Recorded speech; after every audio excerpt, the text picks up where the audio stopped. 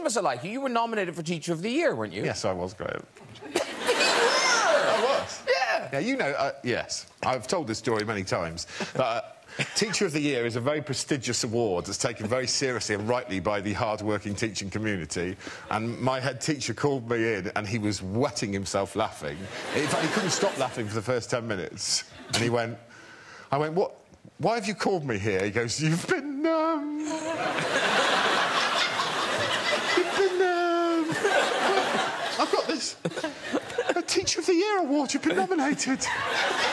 And I went, oh, OK. And um, it was by a very sweet girl called Gemma, who I've humiliated many times. And it's a six-page document that people have to fill in for the reasons why you should be nominated for Teacher of the Year. It was blank, uh, aside from one sentence that she'd written on it, which was of the reasons why you think he should be Teacher of the Year. And she'd written, he's a well good laugh and he don't make us do no work. Teacher of the Year. Teacher of the Year.